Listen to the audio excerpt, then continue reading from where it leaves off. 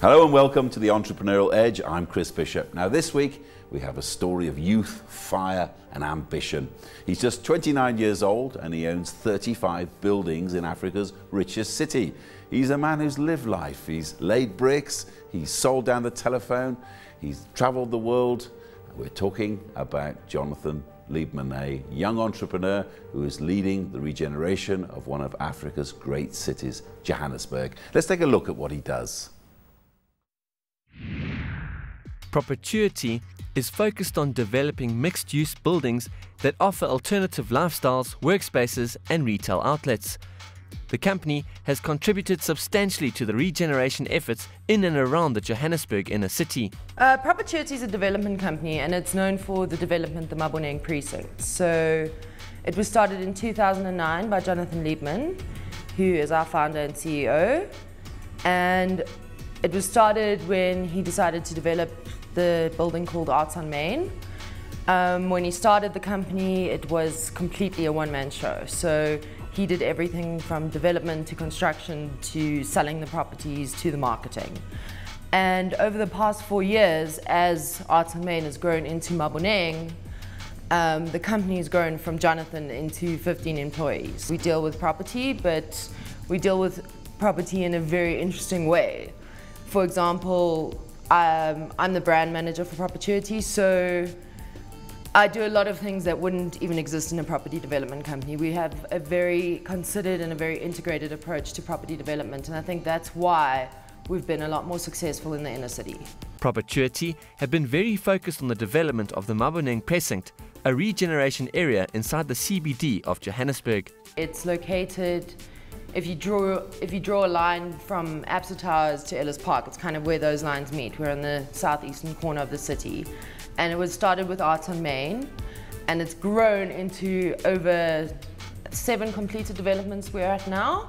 And that's everything from artist studios to galleries to entertainment spaces to residential and commercial space. So, so in three years, it's grown to a community of over 1,500 people that are living and working in the in the inner city, in the spa in spaces that were empty before. So it's that's what we do property development, but a lot of people have referred to us as community developers as well. Propertuity have future plans to work on a project called Maboneng 2.0. Well, Propertuity is very much focused on the development of Maboneng, but what we're working on now and we're releasing on the 1st of November is Maboneng 2.0 which will be an exhibition of our future plans for the next five years. It doesn't, it's not only about the buildings we've acquired, it's not only about the buildings we're going to develop, but it's the plans that we've been working with, with urban architects and urban planners, and that's about creating spaces in between these buildings. So it's, it's talking to the green aspect, it's talking to uh, kind of lighting and interesting spaces that that kind of in, that kind of tie all these spaces together. So that's going to be 2.0 and we're releasing that on the 1st of November with an interactive exhibition at Arts on Main. Well, with me in the studio, I have the driving force behind all of this, Jonathan Liebmann, the founder of Propertuity. So, Jonathan, so um, you've got a lot going on down there in the middle of Johannesburg, and this is a city where you grew up around, yeah? Yeah, I was born in Johannesburg and then I actually moved to Durban uh, when I was a couple of months old with my mother and my older brother. And uh, I returned to Johannesburg when I was 15 and finished my schooling here. And uh, what sort of family do you come from? I mean, entrepreneurial family? Yeah, I guess so. I mean, my mom had a clothing business when I was growing up. Um, and my father was a lawyer and then a banker, and now he's um, got a really successful art foundation. Um, and my older brother has got his own business, as well as my younger brother, who's opened a clothing shop um, in Maboneng. So um, I think everybody around me are entrepreneurs. All my best friends um, are entrepreneurs They have businesses in Australia and America, in Johannesburg as well. So I'm really connected to other people that are, are also driving the economy forward with entrepreneurship. So everybody understands you. So uh, fast forward, when you were 17, 18, you up sticks and you went to London. Yeah, so when I was um, 17, I went with my four best friends to, uh, to London where I based myself and I kind of got involved in a few menial type jobs just to make enough money so that I could travel and expose myself to um, to other interesting things that were happening in the world. Um, I think at that stage, Johannesburg in South Africa kind of wasn't meeting my needs, so I was looking for something different. Um, so while I was in London, I, uh, I became a telesales uh, person. I was selling um, telephone packages for British Telecom um, until like that? 11 o'clock at night. It was pretty pretty uh, scary initially, phoning people up, um, kind of with not much to sell. Um, but I learned the trade, and eventually, uh, you know, I was kind of one of the top salespeople. Um, and then I decided to get my hands a bit more dirty, and I started uh, learning the construction industry and started working as really a manual labourer on a construction site in Canary Wharf in London. Uh, the pay was a little bit better than telesales, so I was kind of moving up in the world. I mean, there are two tough jobs there. I mean, telesales, people tell me it's soul destroying. You know, yeah. you have to phone people up all the time. You must have had some terrific, terrible times there. Yeah, I mean, most of the people I was phoning were kind of like 65 plus. So a lot of them couldn't even hear me for the first three minutes. Um, and, uh, you know, once I'd really kind of uh, got them thinking about the product, my, my conversion rate was, was, was really high. But that, it's that first minute of the phone call where you, your, your um, rate of people putting the phone down is kind of like close to 90%. So it can be soul destroying. and, the, and the brick trade as well. That's not uh, an easy one. You need yeah, I mean, yeah, that, that kept me nice and fit. Um, and the good thing about that was that you know we could work overtime. So we were working from like six in the morning um, till 11 at night, and we were earning enough money so that we could see the world. So from there, I I was I managed to see I think another 17 countries uh, from Europe to the Middle East to America. So it was a really good uh, way for me to earn money at a young age and see the world. What do you think that did for you? I mean, the, all those places you went yeah. to. I think seeing, um, you know, the urban parts of, of, of, first world countries made me understand that there was something um, different uh, that could be introduced to the South African market. Um, not just a suburban life, but rather uh, a proper integrated urban lifestyle that could um, make sense for young people. Um, so, so when I came back to South Africa um, after that year, year of traveling, I felt that there was something missing here and then had an experience to draw on um, um, so that I could start thinking of how I could contribute to a new offering in this country. And um, before we get there, I mean, you were always an early starter. You said you, you bought your first property when you were 18. Yeah. I mean, most people can't even find the rent at that age. And secondly, you ran a string when you were in London of 17 laundries. Well, the laundries were actually um, all around Johannesburg. Oh, um, Johannesburg, sorry. So, um, yeah, so I started a laundry business with a best mate of mine, and um, we took it from one laundry to 17 laundries within like a kind of two-year period, so we were growing really quickly. Um, I think what, I, what was interesting for me in that business was um, finding locations. So I'm very environment sensitive, and I, am interested in um, identifying opportunities within neighborhoods. So that taught me how to, how to look for those opportunities. Um, and also just gave me really good on-the-ground experience of, um, of trading. Um, and uh, yeah, so after that, I, I, that's when I realized that um, my passion was really in property, which is where I started at 18 and invested in my first property. And I was building my way up. So I went from one property to another, and eventually I had four and started thinking, okay, now how can I actually develop a company that's focused on property development? But this is interesting insight into the mind of a young entrepreneur. At your age then, you said you did 17 countries, uh, plus you started a business.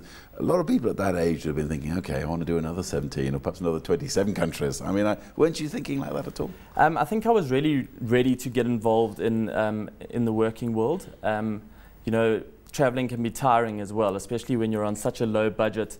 You're barely eating two meals a day. Um, and you're sleeping in hostels, and it's, it's not the most comfortable thing. It's very good to stimulate the mind, but you do get tired of it. Um, and you know, I needed to come home and study. I needed to, um, you know, get a foundation for business. So I went on and studied um, accounting at Monash University, which I think gave me a really good uh, foundation for, for launching into a business career. And then you studied and then along came Propertuity. I assume that was your big idea. Yeah. Well, yeah, my first building was um, Arts Main, and that uh, kind of became the catalyst for uh, the start of both Propertuity, which is the development company, as well as Maboneng, which is the neighborhood um, that we've now um, expanded into. After having developed Arts on Main, we started thinking about a much bigger idea of um, building an entire neighborhood. Um, so, what gave you the idea in the first place as an entrepreneur? I mean, surely you're doing pretty well with the laundries and what have you. Yeah. So um, I was living in a converted factory space um, on the other side of, of town in Milpark. And um, in living in that space, I identified that uh, old factory spaces had the potential to become new live and work spaces. Um, and also that there was um, a lot of demand for people that wanted to live inside the urban uh, part of Johannesburg. So at that stage, there was very little on the market. And I thought, um, along with my architect, Enrico Daffonchio, we started thinking about um, the idea of doing our own uh, large-scale development, not just one unit, but growing it into a, a, a full-on community. How old were you then? And what was it like going to people and saying, you know, listen, Yeah. I want to do this and that? So at that stage, I think I was 23. 23. Um, and initially, people thought I was absolutely crazy. I mean, um, you know, downtown Joburg was completely out of uh, out of bounds then, um, and particularly the area that I had um, identified as an opportunity, which was previously called city and suburban, and kind of crossing over into Jeppestown, was completely a no-go zone. It was uh, largely vacant. Um, and just really looked like an industrial wasteland. So when I took people there for meetings and tried to sell them, a lot of the meetings they just thought I was um, thought I was mad. But uh, luckily, early on, I got William Kentridge um, on board, Mm-hmm. and he's uh, South Africa's most prominent um, artist. And uh, after he committed to the project, people started seeing that there may be, um, you know, a workspace for themselves there or a living space for themselves there, and kind of snowball effect started to happen. And uh, can you remember your first days when you opened your business thinking, well, this is the rest of my life unfolding? What was it like? I mean, um, early on, I moved my office onto site. So during construction, my office was there and I was fully committed. And then when the building was completed, I actually built an apartment for myself um, in the building and was living there. So I was very much um, entrenched uh, in the neighborhood from early on. And really, I was focused on turning it into the success that I, that I knew it should be.